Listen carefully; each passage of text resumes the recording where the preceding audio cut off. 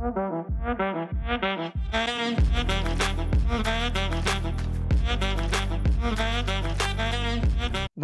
to the Wellbeing Designers podcast. My name is Reka Deák. I am your host. This podcast is about well-being at work and in life.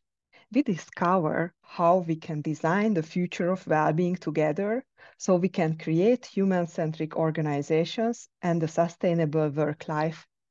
In the first season of the podcast, I talked with the first generation of well-being leaders in big organizations. Usually, they were the very first ones in their organization ever to have the title of head of well-being or similar. In the second season, starting with episode 9, you will meet similar people again, and I invited some other interesting profiles as well. All these people work on well-being on a systemic level. Their mission is related to make the world a better place through focusing on well-being.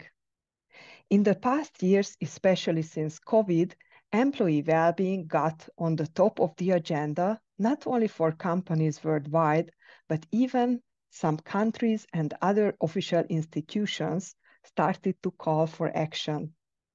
In the Wellbeing Designers podcast conversations, I would like to highlight the work of those sometimes invisible people, leaders, who are either in charge of well-being in organizations and trying to navigate amongst the growing amount of well-being offerings while connecting efforts to business impact and most importantly, create real value for employees. Or they are those leaders who are doing their best to create international forums to exchange, raise awareness, and take action on well-being and people sustainability. They might be the ones whose responsibility is to take care of hundreds, thousands, or ten thousands of people's well being. They might be the ones who keep decision makers and CEOs engaged about the topic of well being. They might be the ones who are proving that employee well being is a strategic enabler of sustainable performance and business success. They might be the connectors between well-being leaders across companies and countries. I call these people well-being designers. Enjoy listening to them and learning from them. Together, we can design a human-centric work life and the future of well-being. Our guest today is Jonathan Fisher. He is a cardiologist, certified mindfulness teacher, and well-being and resiliency leader at Novant Health based in the US, supporting a team of 38,000 people. He is also the founder of Mind Heart Now, delivering keynotes and workshops on mindfulness, stress mastery, total well-being, and heart-centered leadership for teams and organizations globally including IBM, Bank of America, IE Business School, the American College of Lifestyle Medicine, and many others. Jonathan's mission is to help others harness the power of the mind heart connection to create a kinder, more compassionate world. He lives in Charlotte, North Carolina, with his wife Julie and their three teenage children and two dogs, Cosmo and Hugo. You can find more information about his upcoming book, Just One Heart, on Jonathan's website, which I will link into the description of this podcast. Just One Heart, a cardiologist guide to healing, health, and happiness, is a practical guide to inner workings of the mind heart connection, helping readers master their stress and develop a healthy and joyful heart. Good morning, Jonathan. Welcome Hi, to the yeah, welcome to the Wellbeing Designers podcast. Before we do anything, I would really like to ask you to guide me through some mindful moments because this mm-hmm. is uh, something that I understand comes very natural mm-hmm. to you. I'm happy to. I'm happy to be here. Just taking a nice deep breath into your belly feeling the air moving in, exhaling slowly and completely through your mouth, all the way out. Let it all out. Let go of something. One more deep breath in through the nose. Exhaling as slowly as you can, see if you can let go of any tension in your shoulders, in your brow, in your jaw, in your belly, in your hands. Just let gravity pull you down and let earth support you. Arriving completely in this moment now. Feeling into the body, letting your senses open being ready for what comes in the next moment and what comes up in this conversation together. When you're ready, you can let your eyes open. It makes a difference to start it like this. I used to think it took, know, half an hour of meditation. This is a practice that I do before I enter the examination room when I see my patients in the cardiology clinic. It could be as quick as one or two or three seconds as I'm knocking on the door. I just feel my feet on the ground. I let go of the interaction I was just having, and I set myself up to be open and receptive and compassionate for the next person that I'm about to experience. I had the chance to experience something like this even in the corporate world between Zoom meetings or uh, even, you know, sometimes personal meetings. The virtual and hybrid work gave a push for this kind of mindful check-ins. Mm. But hmm. still, it might, you know, not be for everyone. yeah. Today. I you know I agree. It's it's certainly something where those of us who have the practice, we didn't know about the practice until we learned it, first of all. And we all have different degrees of resistance and openness to new ideas. And in the corporate world, the prevailing culture is not one that is open to slowing down, checking in, introspection. There's so many outside forces and we get into patterns of moving fast and making quick decisions without feeling our intuition. So I hear you what you're saying and because the benefits are so strong, there are ways that I've found and I know you've found to offer these practices for so people can feel better, be better and be more successful in their business and in their life. That's beautifully said. Thank you, Jonathan.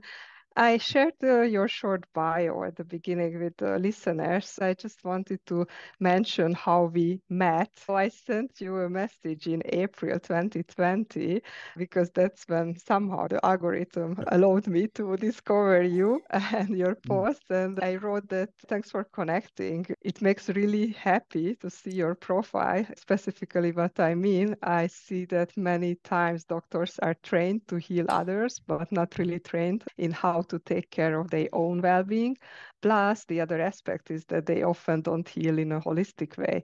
And I am not even talking about the emotional and mental side of uh, physical illnesses, but they tend to focus only just on one part of the body and not on the other parts. So I was hoping that you know we, we keep in touch. And then you left me a, a voice uh, message as a response afterwards. And then this is how our uh, connection started. So yeah, I really appreciate that. Yes, I'm going to give a shout out to LinkedIn, who connected us. Right? Um, yeah. Yeah, I never knew um, that. I was very hesitant uh, three years ago to join LinkedIn when I, you know, I knew nobody there, and I said, "What is this for?" And I had a feeling that there was some special uh, people out there that I could start connecting with, even outside of my own my own world, my own specialty, my own institution. And ever since then, it's just broadened my horizons and made me a fuller person. And I'm grateful that you sent me a message and that we've been connected uh, with some other mutual friends as well. Please share a bit about your uh, background. Who is uh, Jonathan Fisher as a person? And then we can go into the depth mm. of your professional uh, side and then, of course, your book as well. I always struggle with this because there's so many ways to describe ourselves. There's the way we describe ourselves so other people can get a quick idea of who we are, which is necessary for these things. And then there's the way that we describe ourselves to ourselves which for me is very different than the way I would describe myself to the outside world. So I'll start with the the requested one, which is for people who don't know. I'm living in Charlotte, North Carolina. I'm married and I have three teenagers, and I am a cardiologist, so I'm a heart specialist. I'm not a surgeon. I'm a, a heart doctor who listens, who listens to other people, trying to be like a detective, figuring out what's really going on deeper and deeper beneath the surface, whether it's a symptom of chest pain or trouble breathing, irregular heartbeat, high blood pressure, problems with cholesterol, getting to the root of the problem instead of a quick fix. And I've been doing this now since 1998 is when I graduated medical school in New York. And ever since then, I've been seeing 20 to 30,000 patients, I think, overall. And in the meantime, realizing that it's not simply enough to care about other people and to serve other people because I thought that I would just give and care for others and that would make me have a wonderful life, but it didn't work out like that. Instead, I found that I was giving, but it became very mechanical and I started to regret and resent the work that I was doing because I had no time to take care of myself. Didn't really know what that meant actually to deeply care about myself. I had very little time during the day to even take a break. And I I came to a place where I was really struggling with some deep depression and anxiety, isolation, and there were some traumatic events with patients where I had watched people die that I never had a chance to process. And so I had to do some healing of my own. And as I did my healing, I read that it's helpful to share your story of healing as you're going through it. So I did that. And lo and behold, a lot of other doctors and nurses and leaders and business people and dads and moms said, I thank you for sharing openly. It's really helping. So that's part of my journey as well. Hmm. Thanks for sharing such a deep journey how does your day look like today and you know maybe what is different compared to this other mm. life that you used to have because you still work as i understand in the same system mm-hmm. but as a different person I love how you said that. and that's exactly right. That's exactly right. So many people, when I'm sharing, say, don't tell me, you know, what worked for you. I don't need help. I need to change the system. And I appreciate that there's been a nice shift in the world of well-being over the last decade away from yoga and meditation and towards looking at these deeply broken systems based on a, a western capitalist model that really destroys people's health and well-being. It's almost designed to do that. It's designed for profits rather than the people themselves. So you asked me what my day is like and it depends on the day of the week. I have two official roles in my job which is a full-time job. So Three days a week, I'm a cardiologist, which means I see patients, you know, 24 patients a day with all sorts of conditions. And then sometimes I spend days at a time or weekends on call in the hospital for emergencies, people, life and death situations. Their hearts are stopping or going too fast, having heart attacks or hearts that are failing. So that's 60% of my job. The other 40%, I am a, a physician executive on a very special team in the large healthcare system that I work for called Novant Health, which is in the southeastern US in the Carolinas, we have 40,000 employees, and I'm on a team called the Office of Wellbeing and Resiliency. And we've been around for a few years, one of the first in the country, starting around a decade ago, saying that we need these types of teams to support healthcare systems. Because if we don't take care of the people taking care of our patients, our patients are going to suffer. So I spend two days a week doing that. And as an example, uh, yesterday morning, I was invited uh, by the CEO of our company, Carl Armato, to um, lead the quarterly uh, leadership retreat. And I said, What would you like me to share? And they said, whatever it is you do. so I guided them in some practices. Uh, we did about six or seven different uh, mindfulness, uh, positive psychology practices, embodiment practices, some gentle yoga. And we talked about executive presence and emotional intelligence and all the good stuff that people do work in. So that was yesterday morning. Later on in the day, I sat in front of a charitable foundation board requesting funds to support the work we do to support our nurses and our team members and our doctors, where we take nurses who are struggling during COVID off-site out of the hospital for three days.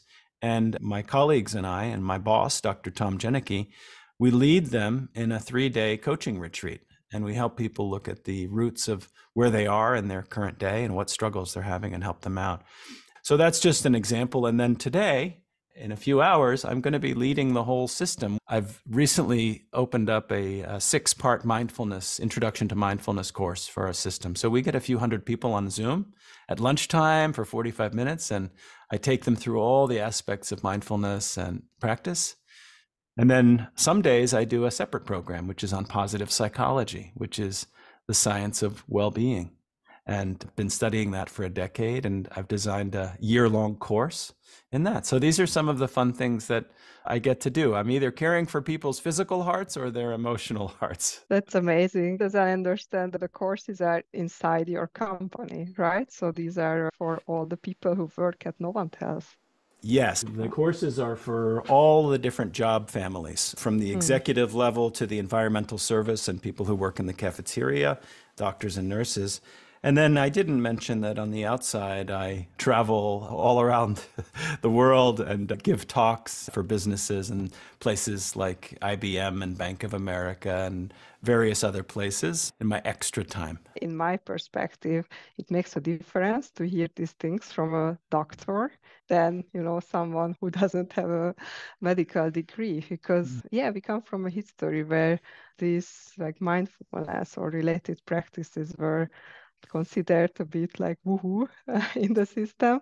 And mm-hmm. now they are really embraced by people like you. I think that's a very interesting point. It cuts both ways. On the one hand, physicians may have some more credibility, and I call myself the mindful heart doctor. Part of that is so that I can help introduce these practices to make care better for our patients and for our providers and even for our leaders.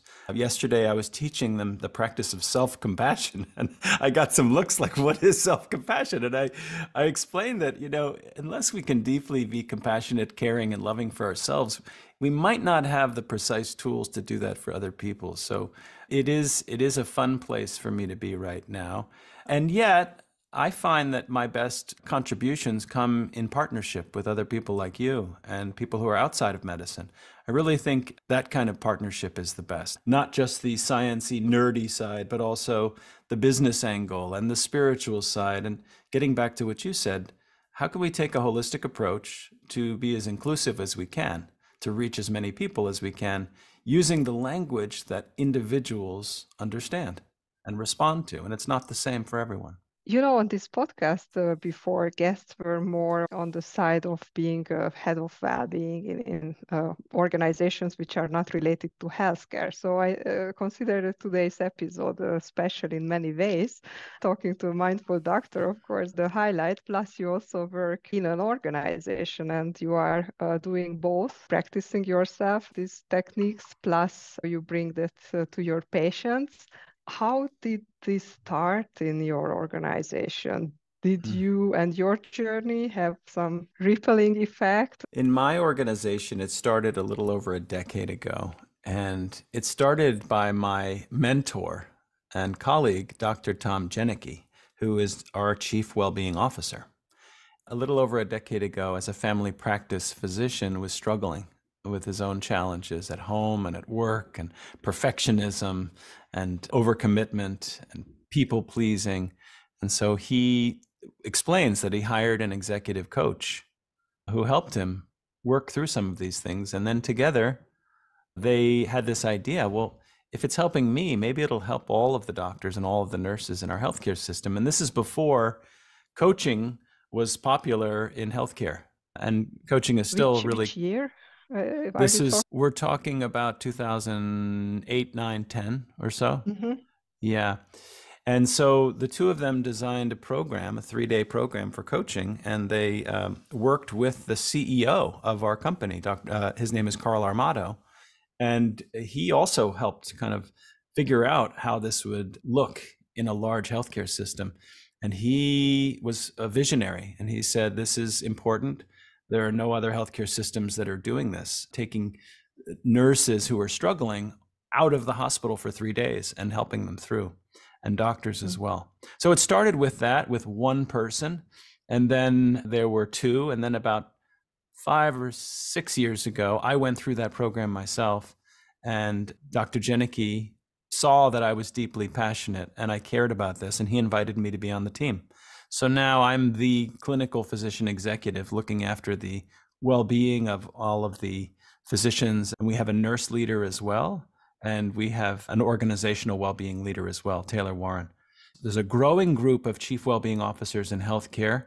And now it's really considered a best practice in mm-hmm. healthcare to end burnout, but that's only within the last five years. So this is all evolving rapidly. I understand you got to this point still to have some kind of mental struggles. You were already in a system which tried to support it, and you, you mm. still mm. had to go to the edge yourself. Can you share a bit more about that? Yeah. Well, my, my struggles started before I even entered into this system. Uh, I was an anxious kid, and part of my success model, the reason I was able to do well in school and go to Harvard and all the fancy schools and work so hard, is because I had this very strong internal voice. You're not doing well enough. You've messed that up again. Uh, keep going, keep going, never stop. And um, and on top of that, I was really very good at thinking about how other people were feeling and cared about that. So very empathic, which drove me into medicine. And also, I was really, I was addicted to thinking about problems that could happen in the future. like if I could, and I think it was because of some uncertainty and confusion in my childhood and some chaos there that I felt like I would have a sense of security if I could only worry about enough things in the future. And so that led to anxiety, which eventually separated me from the world. And I got treatment for, for depression as well during my training. And I had to do that in secret, even when I was doing my medicine training, because I was afraid of what other people would say. So I would hide as I would go to, to therapy. And so I entered into this larger system, and the problems got worse. And I certainly had burnout, though it wasn't, even though it was a research term from Christina Maslach, you know, uh, out in California, it wasn't something that was part of our language back when I was struggling in 2006, 2007, 8, 9. Um, where, but I was deeply exhausted physically, emotionally, spiritually. I had nothing left to give. I started seeing my patients, and this is a shameful thing, but people coming to see me, I didn't see them as human beings. I saw them as like a number. I have to go to the next and the next and the next. And it was like an assembly line. And I just was trying to get through the day. And I realized that uh, if you're just trying to get through the day, by extension, you're just trying to get through your life. And I was at that point that my my sister, my best friend, Andrea, who was 44, she was diagnosed with a brain tumor and died over the next few years. So my life was falling apart and I was miserable at work. And it was at that time when I discovered positive psychology, meditation, went on retreats. I was already doing the work of healing when I joined this larger system, but then it got worse again because I was being judged on how much money I was making for the system and how many people I was seeing rather than the quality of the experience that I was providing and the healing experience that I was providing. So that was part of my journey. And then I started sharing my own story of burnout. And that's when our own system sort of shifted and said, we think it's important to share this story. It seems like there's a growing need for this. And part of my own healing was to work outside of my system. So in 2020, I wanted to eh, find out what's happening globally with doctors and nurses. And so, with a partner, Kelsey Trefethen in California, we founded and started the Ending Clinician Burnout Global Community and held the first global summit on burnout. And I had the pleasure of inviting and speaking with Arianna Huffington and a few other amazing people with the idea that we have to go beyond our borders of healthcare. This is not a healthcare thing. This is a Western organizational structure thing and a system problem.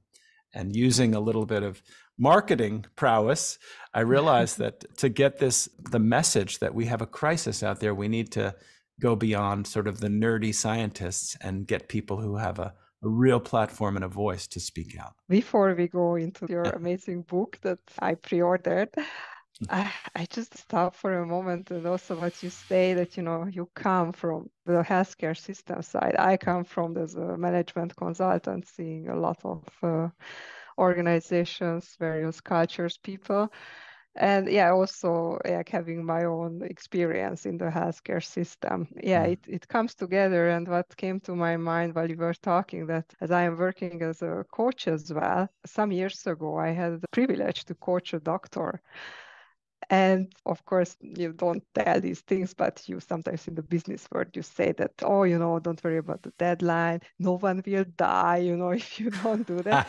cannot say something like this in a healthcare system. So that's mm. when I faced, you know, myself how different it is also to coach someone in that system with all the mm. responsibilities Mm. Plus the system itself. It's a very tough environment. So, as you say, mm. you still do being on call, emergency.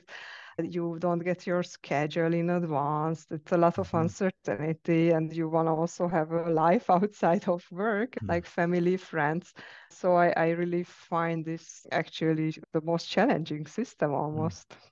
Yeah, you raise a really good point, which is on the one hand, we can develop a general theory of well being which is rooted in holistic health, viewing us as living, breathing, growing beings who exist in nature, right? Though we are we, we forget that. So that's on the one hand, we can come up with all these wonderful theories about, you know, biological health, psychological health, spiritual health. But on the other hand, different job families have different specific challenges. And in the healthcare world, and this overlaps with other caregiving roles, whether we're talking about teachers or psychiatrists or social workers. Um, there are unique challenges that may not exist in other industries, which have to do with these existential issues of life and death, uh, where we don't receive training. Uh, many of us, at least I didn't in 1998, but now we're, we're getting a little better, and I'm part of training the next generation you can't could you imagine sending someone into war and having them being exposed to death and dead bodies and killing people without teaching them how to process the emotions that come up with that? So because of that we're seeing a, a, a driver of burnout in healthcare that's very distinct and it's some people call it moral injury which is where we want to save someone's life but we don't have the resources or we want to stand up for ourselves, but we can't. There's also another aspect, which some people call compassion fatigue. And if you talk to a nurse, you'll hear that they just can't care anymore because they're overwhelmed, understaffed, exhausted. So there's a problem in healthcare where we are expected to give and to care and to love for other people. But if our tank is empty, it's impossible to do that. And it's not just a matter of not being able to make a phone call, it's a matter of not being able to deeply empathize with someone who's suffering. And that, from my perspective as a cardiologist, has a double negative impact on their healing. Because if I'm with you and you feel like I don't care, it's one thing if it's a business deal, it's another thing if your heart is aching and I'm here to try to help you. And I'm aching myself. So there's a there's some unique angles we need to address in healthcare around empathic distress and really understanding empathy and discussing it deeply. What does it mean? Where does it come from? How is it lost? So I'm fascinated by that. And secretly, I believe that if we can focus on empathy and compassion, we can end up with a, a kinder, more loving environment, which I know it sounds funny to talk about love in a, a business world, I happen to know about the way that love can heal the heart. And so I've seen it in healthcare and I've seen it in my own life too. So this is where I get a little woo woo.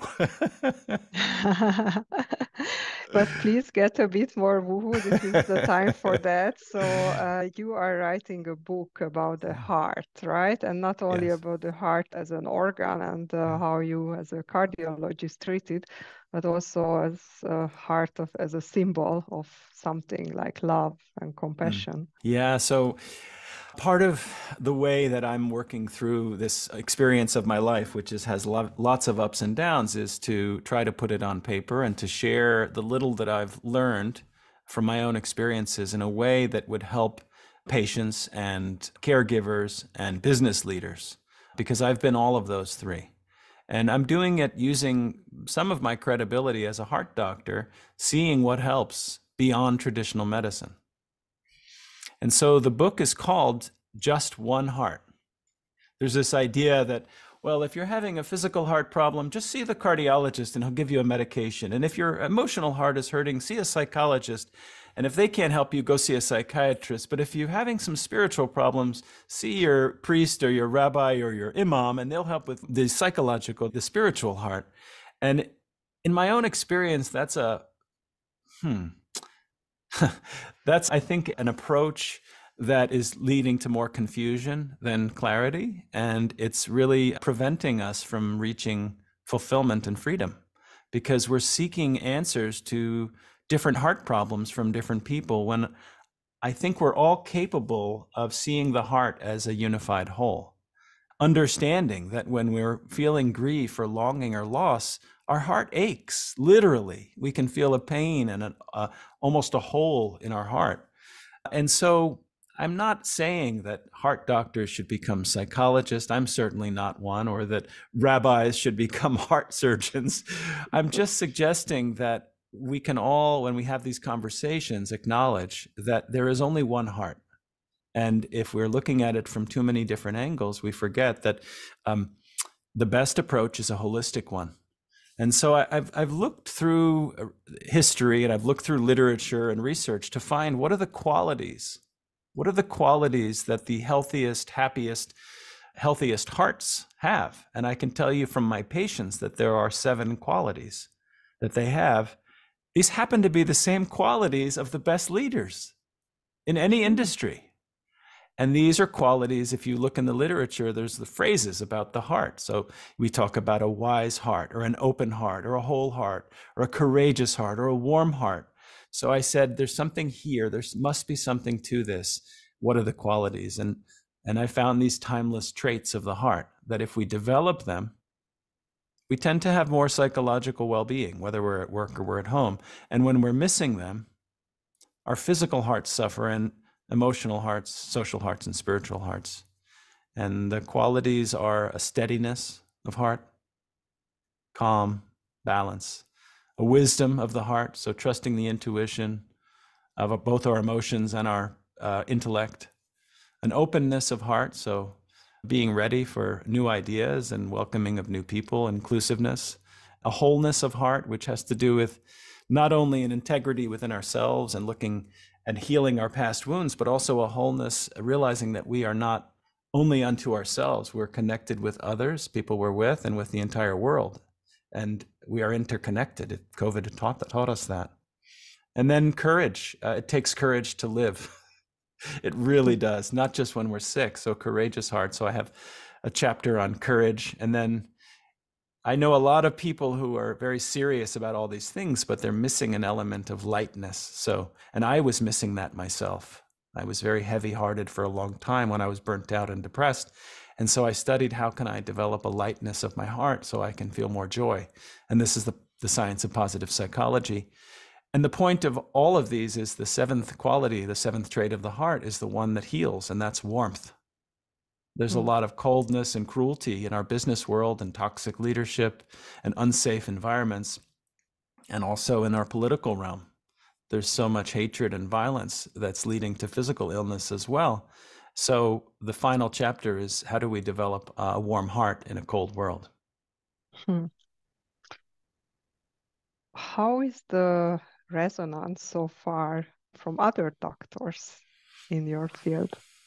When I'm thinking about resonance with other people and messages that may be new, I think about how they might challenge existing beliefs and might challenge cultural norms. And medicine in the West, I'm not talking about Eastern medicine because Eastern medicine, whether you're talking about Ayurveda or traditional Chinese medicine, for 3,000 years, these traditions have included these other aspects of the heart. In fact, in Chinese and in other languages, there's no separate word for mind and heart, it's just one word. And so, in the Western world, what you're asking about, there is resistance. Uh, and I see the resistance the same as any audience I come to um, that doesn't know me, let's say.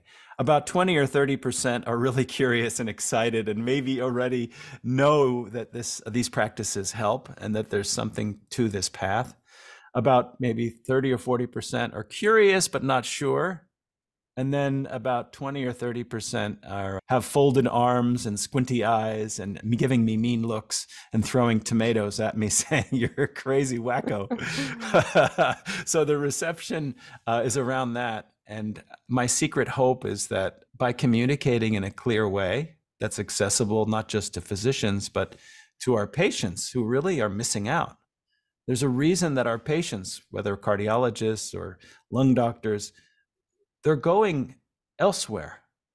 After they leave our office, they're going to holistic doctors. They're going to the self help section. They're going to buy supplements that some of them work, some of them don't. And it's a multi billion dollar business that's comparable to our healthcare system because people aren't getting the care that they really feel like they're needing. So I have no doubt that there is some validity to this approach.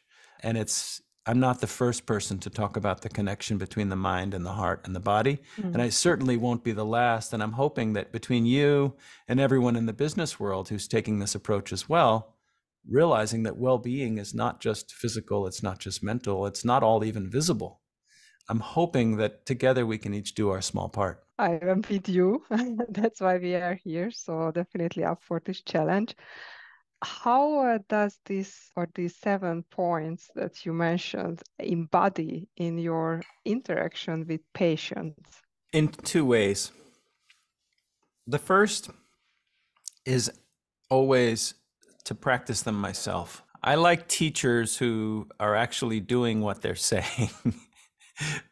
Authenticity that's what we like in oh. the business world authenticity you can see yeah. if somebody is just checking a box or telling you to do something that they haven't done themselves you're not likely to follow that person it's the same thing in medicine if i need to develop trust with my patients and that's the most important thing and I don't have time. I don't have the luxury of an hour or two hour to get to know someone. I have to establish trust beginning in, in 30 seconds and then maybe five minutes and maybe 10 minutes. And so that requires a certain type of presence, an openness, an empathy.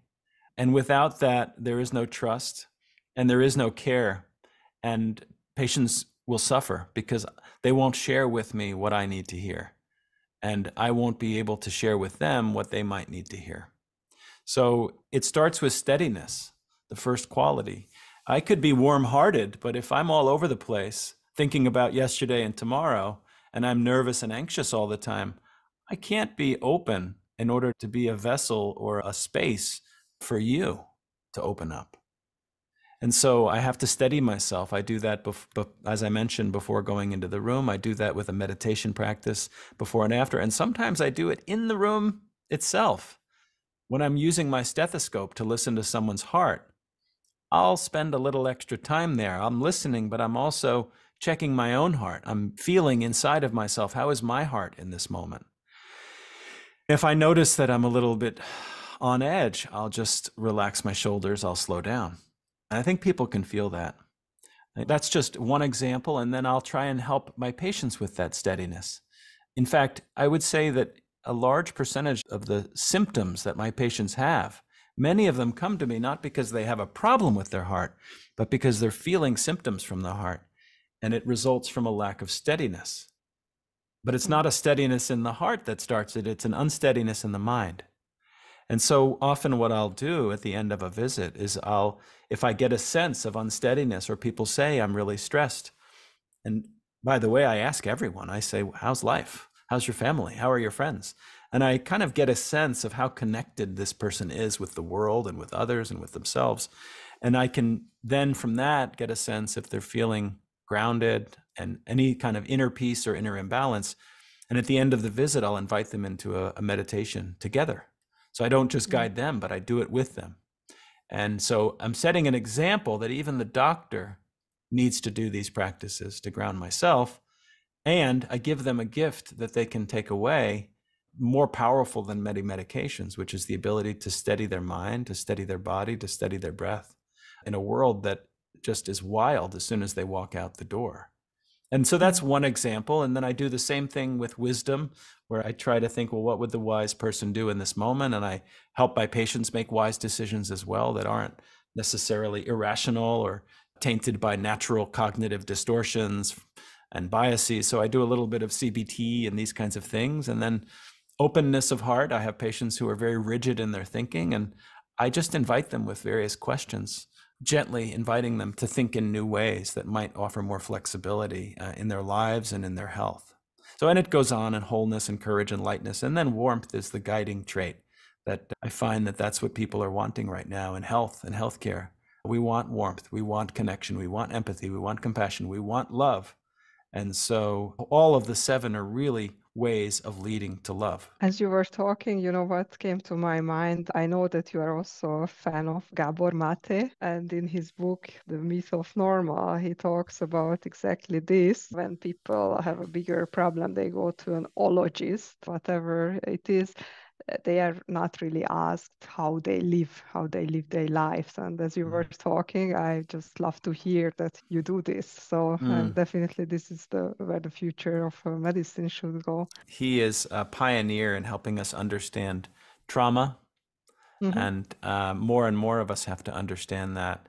And uh, he's also he is someone who is authentic, and he embodies these practices. If you meet him or speak with him, you get a sense of this steadiness and deep empathy and compassion for not just you, but for all people. Uh, and it comes yeah. out in his writing as well. So, yes, I'm a huge fan.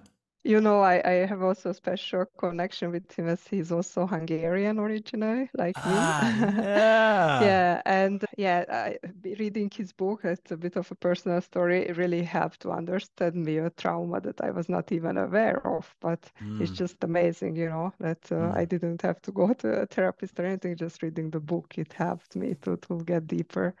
Mm-hmm. Yeah, amazing. Maybe one day we could even have him on this podcast. Yeah. Let's see. Yeah. I know we are getting to the end uh, of, of this talk. One just one reflection that still came to my mind from a systemic side some researchers uh, in HR, they look at the healthcare system as something where, in terms of finding your purpose as an employee, it's in a way easier to, you know, to connect to that because you work on someone's well-being directly and health. Mm. On the other hand, it's such a challenging system. So I find this very controversial, and this is a fascinating controversy in a way. Yeah, I know what you're referring to. You know, there's some good research out of McKinsey that shows that when an employee feels a sense of connection with the, the meaning and purpose of the work, their productivity goes up 100, 200, 300%. Yeah. And the more connected we feel to purpose on not just one level in terms of what's the outcome or the client, but on all levels. What is the, the meaning of what I'm doing on a societal level? What does it mean for mm-hmm. our globe on a, which is yeah. where, you know, impact comes in. And what you're saying is true that in healthcare, we have an advantage. We can often see when someone else gets better because if we're the doctor ourselves, I can see someone getting better. Whereas this is now, you know, going back 100 years in Western business, there's a disconnection between the worker and the results of their labor. And so we don't see the benefits. And so, mm-hmm. but we still have practices that are common in healthcare and other businesses where it's helpful to bring in somebody, bring in a client, bring in a patient to talk to all of the department and say, You helped me, you saved my life. And that helps people reconnect with the purpose because right now in healthcare, there's a disconnection. We can't feel, we can't even appreciate the benefits of the work we're doing because some of us are so exhausted psychologically, emotionally. And some of us have experienced trauma ourselves. You know, one in five or six nurses has been physically attacked. Many, many people, particularly women and minorities and new hires, feel psychologically unsafe in an often toxic work environment. So I think we have a lot of work to do. In addition to reconnecting with purpose, we have to begin with safety as well. So hmm. there's so many factors on an organizational level that if you just yeah. ask, you hear all of these these pain points. You mentioned the term psychological safety. Even you know when Amy Edmondson coined this term, she did a research in a hospital. So the original, yeah, research comes from on that environment. What would be your ultimate advice for future well-being leaders, either in the medical environment, healthcare sector, or in general? Well, uh, my first advice would be to lead from a place of internal uh, integrity. So uh, I know that for myself, it's very easy to become out of integrity. So if I say, the better a job you do, the more people ask you to help them. And if you say yes and yes and yes, then suddenly your workout maybe gets canceled and you don't go to your child's play performance and you don't say uh, hi to your spouse, you run out the door. And then we end up trying to be leaders for other people's well being without looking after our own sense of balance. So I would say the first thing for me is always checking our own sense of well being, whatever that means, and leading from that place. The second piece would be to realize that eh, there's a tendency to, when we hear the word leader, we think about one person. I am the leader. And I think it's a tricky thing because the best leaders that I know and the leader that I hope to be is somebody that is collaborative, not someone who's telling everyone else what to do, but really trying to bring out the best in others. So, uh, my advice, the second piece would be find other people who share similar values, core values about well being and health, and stick with them and learn from them and be open to sharing with them and create a team that eventually will grow. So that would be the second piece there. I guess the third piece would be don't offer solutions to people that they're not asking for. I would say this is, comes from my practice as a physician. I spent the first 10 years of my medical practice right away knowing what the diagnosis was and deciding in my mind what this person needed and then forcing it on them. And they would walk out the door and they wouldn't come back and see me because I didn't really listen. And so the fourth piece would be start by listening to what the real pain, where it's coming from, where the suffering is coming from. If you care about well being, it's a lot of work to do. You have to start somewhere. Start with what people are really needing first. You can only do that by being humble. Uh, even though you may have all the solutions or think you have all the right solutions, you don't know what the solution is for the next person in front of you. And then I would say it's important to balance um, the needs of well being with the needs of the organization. You have to have alignment of the business values, whether it's profits or growth or staffing, whatever it is. These are real. And we don't live in an ashram or in a cave somewhere where we can just eat vegetables and do yoga all day.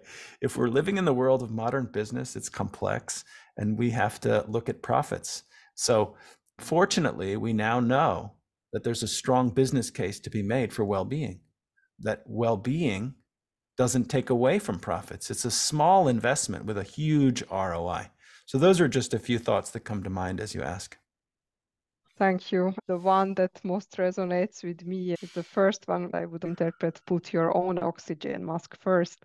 So mm. I like to focus in these conversations on the, the systemic uh, change and the organizational change.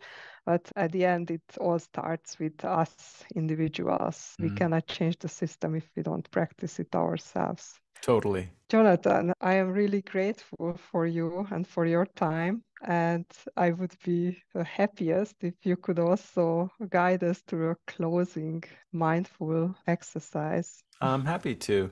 Reka, this has been a real pleasure chatting with you again, and I look forward to our next conversation. And thank you for all the work that you do. You have such a big heart and you care so deeply, and it comes out in this conversation and all of your conversations. So thank you for the invitation to join you. My pleasure.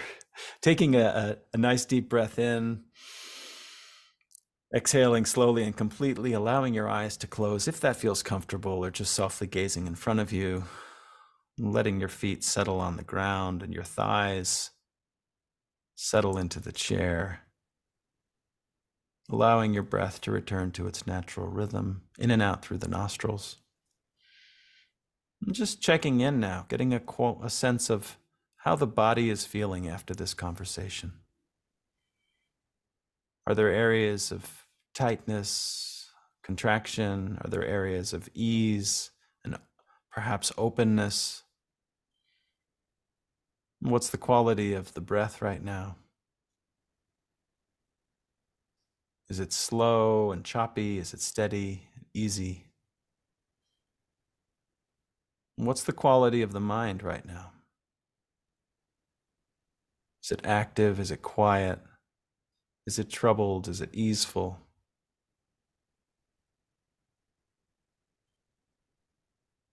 And in this brief moment of stillness and quiet, I'm checking into the space around the heart, asking yourself, How am I? Asking your heart, What are you needing more of? Perhaps the heart is needing what it has a sense of connection from this conversation, of new ideas, a sense of hope. Maybe it's needing more balance, more freedom, control, maybe crying for more justice and equity, safety, whatever it needs. Just ask your heart, what are you needing right now? And allowing that feeling to settle and seeing if you can tap into a sense of gratitude for one small thing. Maybe a person or an experience, something you have in your life.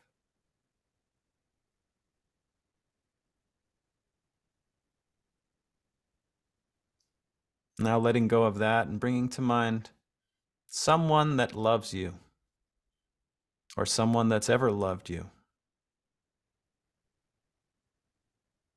or someone that you love. And it doesn't have to be passionate romantic love, it could simply be deep respect and admiration, friendship, friendliness, kindness.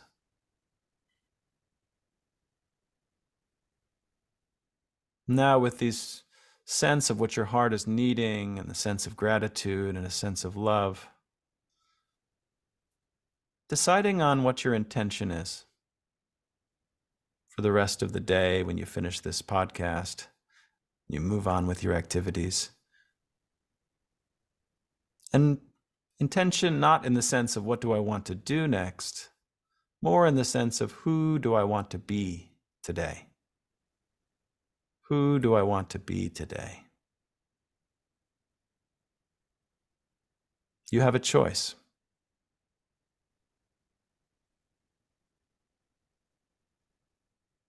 And letting that intention grow inside your heart, inside your body, even extending beyond your body, radiating outwards. Letting that be your guide.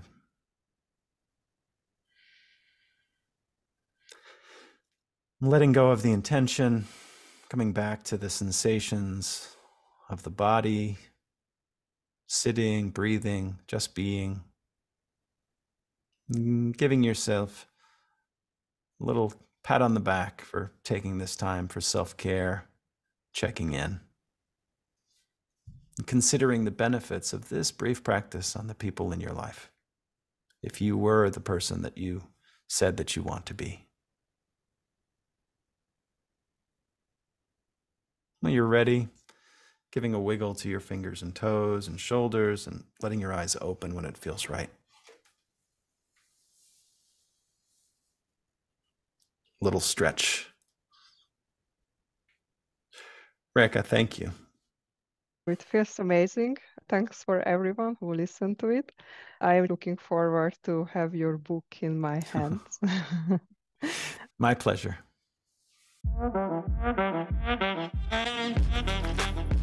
You can find more information about Jonathan's upcoming book, Just One Heart, on Jonathan's website that I am linking in the description of this podcast.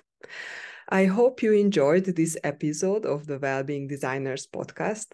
If you would like to keep in touch with me, with us, sign up to the Wellbeing Designers newsletter.